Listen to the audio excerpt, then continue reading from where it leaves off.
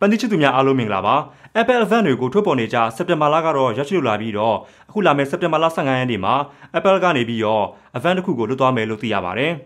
အခုလာမယ့် Apple Event ကလည်း2020 style အတိုင်းပဲ virtual online event လေးလုပ်ပေးသွားမှာဖြစ်ပြီးတော့ကျင်းပမယ့်ရက်နဲ့အချိန်ကတော့စက်တင်ဘာလ15ရက်နေ့အခုလာမယ့်အင်္ဂါနေ့ည7:00နာရီခွဲမှာကျင်းပသွားမှာဖြစ်ပါတယ်အရေးကြီးတာကတော့ဒီပွဲမှာ Apple ကနေပြီးတော့ဘယ် product တွေကိုကြီးညာသွားမလဲဆိုတာပါ Apple ကနေအခုကျင်းပမဲ့ပွဲရဲ့ poster ထွက်တဲ့ချင်းမှာပဲအားလုံးကနေပြီးတော့ iPhone 12ထွက်လာမဲ့ဒီပွဲကိုကျင်းပမယ်လို့ထင်ခဲ့ပေမဲ့ဒီ poster ရဲ့အောက်မှာ time flies ဆိုတဲ့ဒီစလုံးပါလာကြောင်းရယ်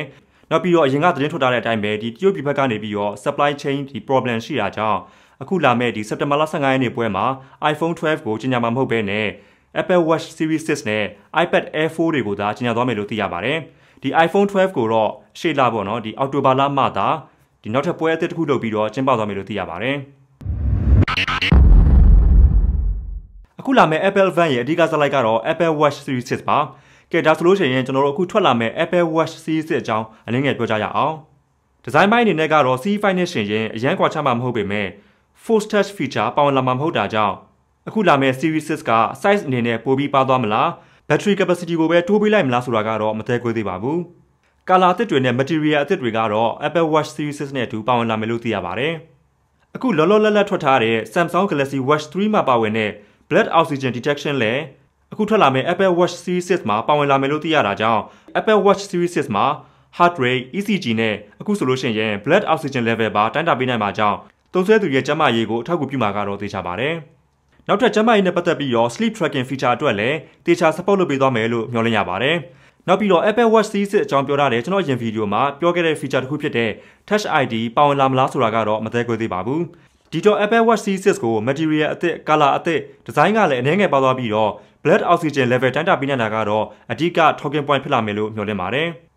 Apple ကဒီပွဲမှာ Apple Watch Series System မဟုတ်ဘဲနဲ့အခုလက်ရှိထွက်ထားတဲ့ Apple Watch C3 ရဲ့ design နဲ့ဒီ display ကိုယူပြီးတော့အခုထွက်လာမဲ့ဒီ Series 6ရဲ့ processor လေးကိုအသုံးပြုပြီးတော့ဒီ budget model Apple Watch လေးကိုပါထုတ်သွားမယ်လို့သိရပါတယ်။ဒါကတော့အခု2020မှာထွက်ထားတဲ့ iPhone SE ရဲ့ဒီ budget model concept လေးကိုယူပြီးတော့လူတိုင်းအသုံးပြုနိုင်မဲ့ Apple Watch ကို Apple ကနေပြီးတော့ဒီပွဲမှာပါကြီးညာသွားမယ်လို့သိရပါတယ်။ဈေးနှုန်းတွေအနေနဲ့ကတော့ Apple Watch Series 6ကိုအခုလက်ရှိ Apple Watch Series 5ဈေးနှုန်းတိုင်းပဲ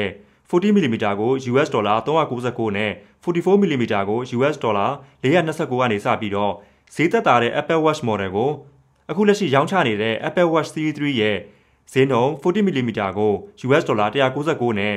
42mm ကို US ဒေါ်လာ229နဲ့ရောင်းချသွားမယ်လို့ခန့်မှန်းရပါတယ်။ဒါကတော့အခုကျင်းပမယ့် Apple Event ရဲ့အဓိကဇက်လိုက် Apple Watch Series အကြောင်းပါ။အဓိကဇက်လိုက်ပြီးတော့ဇက်ဖို့နေရာမှာပါဝင်လာပွဲရှိတဲ့ Apple product နောက်တစ်ခုကတော့ iPad Air 4ပါ။ iPad Air 4ရဲ့ manual လို့ယူဆရတဲ့ဓာတ်ပုံတွေထွက်ပြီးနောက်မှာတော့သတင်းတွေအရ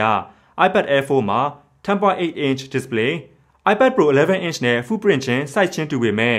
ဘေးပေါင် bezel ကကြီးသွားတာကြောင့်10.8 inch display ဖြစ်လာမယ်လို့သိရပါတယ်။နောက်ပြီးတော့ iPad Air 4ရဲ့အနောက်မှာ smart connector ပါဝင်လာတာကြောင့် iPad Pro 11 inch ရဲ့ accessory တွေဖြစ်တဲ့ Magic Keyboard အပြင် Apple Pencil 2နဲ့ပါတွဲပြီးတော့အသုံးပြုလာနိုင်မယ်လို့သိရပါတယ်။ ဒီဇိုင်းဘက်မှာလည်းအခုလက်ရှိထွက်ထားတဲ့ iPad Pro ပုံစံအတိုင်းပဲ Home button မပါဝင်တော့ဘဲနဲ့ Full Display ဒီဘေးပေါင်တွေအပြည့်ပါဝင်လာမဲ့ဒီ display နဲ့ထွက်လာမဲ့ iPad design ဖြစ်ပြီးတော့ iPad Pro မှာပါဝင်တဲ့ Face ID ကိုပဲအသုံးပြုသွားမလားဒါမှမဟုတ် Power Button မှာပဲ Fingerprint Reader လေးထည့်ပေးပြီးတော့ Touch ID ကိုပဲထည့်ပေးသွားမလားဆိုတာကတော့စိတ်ဝင်စားစရာကောင်းပါတယ်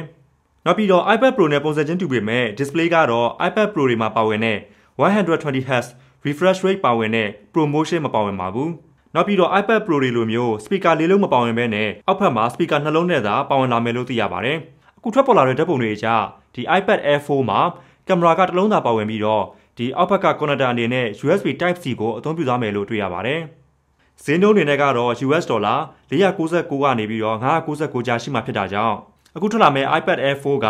iPad Pro လိုမျိုး feature မလိုဘဲနဲ့ဈေးသက်သာတာကိုလိုချင်တဲ့ကျောင်းသားလူငယ်နဲ့ tablet user တွေအကြားမှာ popular ဖြစ်လာမှာကတော့သိကြပါတယ်။အခုလာမယ့် Apple Event ရဲ့ဇက်လိုက်နဲ့ဇက်ဖို့အကြောင်းပြောပြီးတော့ဇက်ရံအဖြစ်ပါဝင်လာမယ့်အခြား product တွေကတော့ HomePod 2, HomePod mini, AirTag နဲ့ Apple ရဲ့ပထမဆုံး noise cancelling headphone ဖြစ်လာမဲ့ AirPods Studio တို့ကိုပါတခါလေးကြီးညာသွားမလားဒါမှမဟုတ် iPhone 12ကြီးညာတဲ့ပွဲမှာပဲကြီးညာသွားမလဲဆိုတာကတော့နောက်ထပ်9ရက်လောက်ဆိုလို့ရှိရင်ကျွန်တော်တို့သိကြရတော့မှာပါ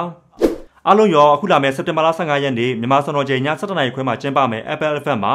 announce လုပ်သွားပွဲရှိတဲ့ဒီ Apple Watch Series 6နဲ့ iPad Air 4တွေပေါ့ဘယ်လိုမြင်ပါသလဲတင်ရထင်မြင်စာချုပ်တွေကိုအခုဗီဒီယိုအောက် comment မှာ comment လေးပေးပြီးတော့ရေးခဲ့ပေးကြပါအောင်ခင်ဗျာကျွန်တော်အနေနဲ့ကတော့အခုပွဲမှာ iPhone 12မပါဝင်ပေမဲ့အခုထွက်လာမယ့် Apple Watch Series 6နဲ့ iPad Air 4တွေရဲ့ feature သစ်တွေကိုတော့မစောင့်နိုင်အောင်ဖြစ်နေပါပြီ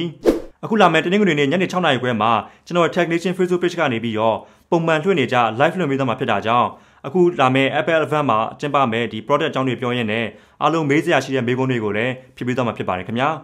Technician ကနေခုလို tag video တွေကိုအပတ်စဉ်တင်ဆက်ပေးနေတာဖြစ်တာကြောင့် Technician Facebook page လေးကို like, see first လုပ်ပေးပြီးတော့ YouTube မှာကြည့်ရှုသူများအနေနဲ့လည်း Technician YouTube channel လေးကို subscribe, notification bell လေးကိုလည်းဖွင့်ပေးကြပါဦးခင်ဗျာအခုလိုကြည့်ရှုအားပေးရတဲ့အတွက်အထူးကျေးဇူးတင်ပြီးနောက်ဗီဒီယိုလေးမှာကျွန်တော်တို့ပြန်လည်ဆုံတွေ့ကြပါဦးမယ်